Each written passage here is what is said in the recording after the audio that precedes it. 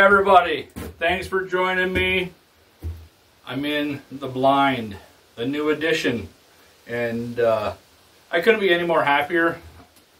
It has turned out really good for using all used materials and scrap pieces of different builds that I've done on the farm. It's turned out great. I used every little bit of what I could find and uh, awesome job. So as you can see, this is the very back of the blind. Um, our door used to come off the side of our blind in, and we just fit two people in here with the wood stove, just. So basically we went seven feet wide or seven feet longer, and we are eight and three quarters uh, wide. And uh, that's basically the section of flooring that I had from a building that I took apart and cut up. And it fit on here absolutely perfect. So I didn't really change the sizes of it too much uh, only about three inches. And uh, it worked perfect. Two by fours a couple of house projects and the old original chicken coop from back in the day uh, three years ago actually two years ago when we took it down salvaged all that, the plywood, stuff like that, all salvaged, and uh, had just enough, which was awesome. So I only have a few minor little things to do. I put in the new window, which I'll show you in a minute. But around the edge of the window, um, I, there's a little bit of a gap, so I'm going to lay some 2x4 around the window. Then we're going to insulate and probably the front half, the original front half, I have enough paneling that I put some insulation in there and panel it. And that would last for a very long time and it'll look, it'll look okay once we get it painted. And then all on this section here, we'll probably just insulate and then vapor barrier it and just leave it as that.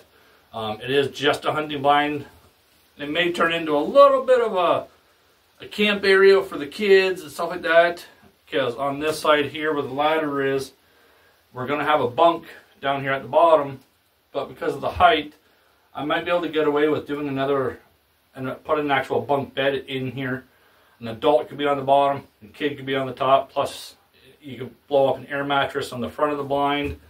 Um, you could probably get a double in there. So, I mean, we can come back and have some fun with the kids back here in the bush also, which would be just a lot more fun. I know Riker and Sadie want to do another 24 hour challenge. We want to go the full 24 hours. We, I did it with Riker. We did 21 and a half hours, which was amazing for him. And I'd rather do it sooner than later because of the weather. I don't want to be out here when it's really cold with the kids and get them sick and stuff for school. So I'll flip the camera around and I'll show you. And don't mind, there's still tools. I haven't vacuumed or cleaned anything yet. So there's still stuff laying around in here, so just be cautious. So we're at the back here, so we'll just step in. There is the wood stove. We got that all plumbed in. All good to go. This is the side. Obviously, I got a lot of my tools here. This is the side here where we're going to put a bunk and possibly another bunk up here. It'll be tight, but a kid can be up there no problem. And then this here is the original size of the blind beforehand. So that I added this window here, this shooting window. This is the original. Faces right out the front. Now what the beautiful one and I want to do is get these windows, take them out, clean them up really, really good. Because I had to, you can see the, the weird uh, stuff on the window there. We had to, cover that in because it's facing south and the south sun is pretty bright in your face. So with hunting, that kind of sucks. So I, all I had back here at the time was electrical tape.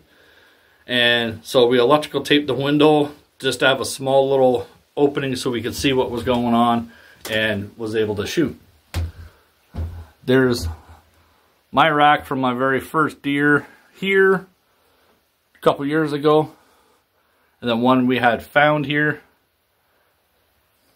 but this is the side here. The windows need a good cleaning. They're really dirty, but really good. And then outside, all my messes have to be cleaned up.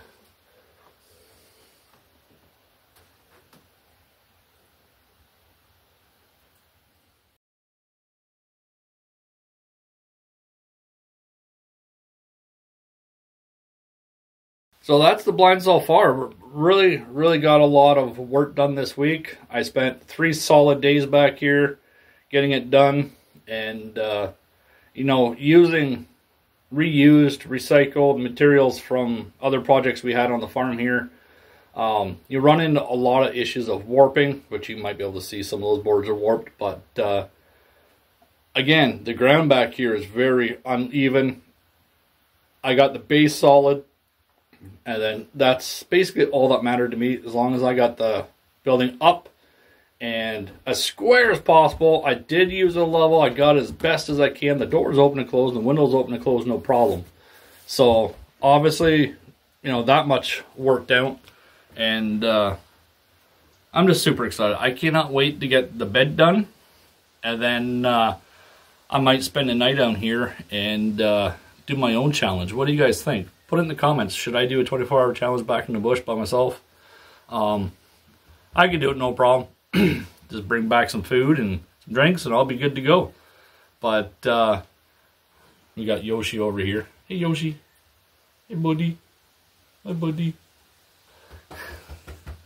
He's my little blind buddy. He loves coming for a quad runs back here and hanging out. But uh, yeah, let me know in the comments what you think about um, the blind. Last week we got a light little frost. And this week the leaves are, are turning quite a bit and they're starting to fall off the trees a little bit. As you see, the leaves are falling and changing color. That means one thing. Fall's in the air. Kind of crazy to think. I don't know where this summer went to. It's supposed to be a warm one today. It's supposed to get pretty warm this week, up into the 30s, and uh, some rain and stuff like that. Which we need. We need some rain, but uh, it's not going to be too much longer now. We're going to get a good frost, and everything will just die off. I love the fall season. I love the change. I love the colors. And then, of course, everything leads into hunting season, so it, it's it's exciting. Plus, there's so many new adventures for us, many people around the world. But our oldest son went back to university. I'm excited to see what he'll do this year in in uh, uni. And then uh, our two youngest ones uh, obviously moved up a grade. So little Riker's in grade three. Sadie's going to grade four. So I'm excited to see how their year is going to turn out, especially Riker. Um, he he's turned things around quite a bit um, since we were able to finally get him diagnosed with ADHD and get him on some medication, and it has helped drastically for him. The beautiful one and I have been thinking about these windows because the front window I painted last year to help with the glare of the sun. And uh, I think what we may be doing is get some uh, Goo Gone and get these windows clean. Take a razor blade and scrape them nice and clean and uh, we're gonna do some window tint. I think window tint would be the best. That way we can see out. Deer can't see in as easy, and uh, just see how that works. Um, it's not a lot of money, so it's worth trying. Yeah, I just I'm I'm leery on getting any kind of reflective tint just because I don't want to reflect the deer movement when they're out walking by or something and they see a reflection of a deer in the windows. I don't want to scare them either. So I'm kind of, I need to find just normal like black, blackout tint and uh, see what that does.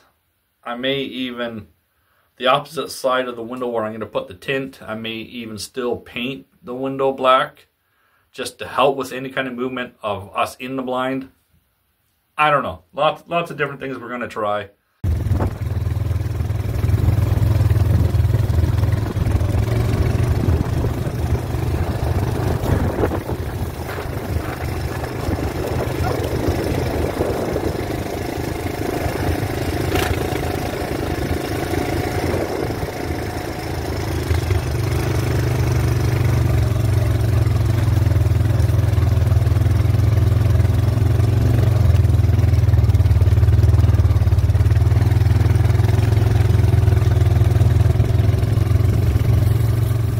As you can tell, I'm in the bush.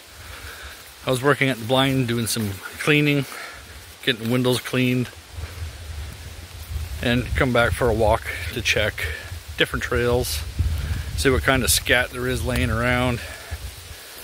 This morning we were sitting having our morning coffee, getting the kids ready for school, and we got to see a wolf in the field in front of our house.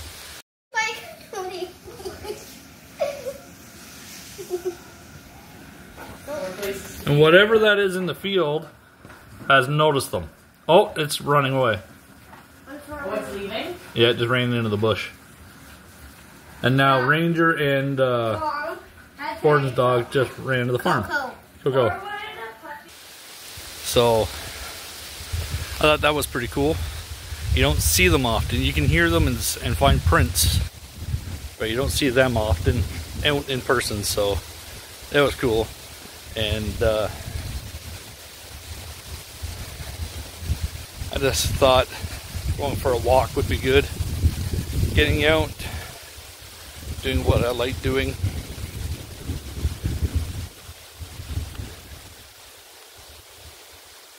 The skies don't look too good over there, so it rained last night pretty good and I thought I'd come back and check the blind this morning to see if there was any leaks with the new roof and nada, no, no leaks, so I'm pretty happy about that.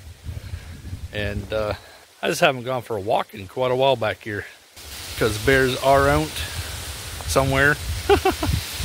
Once in a while, I like going for my walks just because uh, it's a lot quieter than the four wheeler, and I get to look at trails. I can see a trail starting or whatever from the edge of the the trail on the four wheeler, but walking them, I can walk right up to the edge of the trail, see how prominent it is inside the bush, and uh, verify a little bit easier that way. So it's that time of year, leaves are starting to fall, everything's changing, so time to change what I'm doing, what I do in the summer, and uh, start getting my hunting exercise in. but uh, no, it's a lot quieter. Just came through the other end of my trail and I'll just turn around here. That sky don't look good. So I may have to just walk back and uh, head home. It looks like that's maybe half an hour or so out. But that's okay. I did what I had to do today with a hurt hand. I did a, a fair bit and it's starting to hurt a little bit so I thought I'd go home and get some Tylenol and rest that a little bit. Maybe I'll work on a video and who knows I'll do something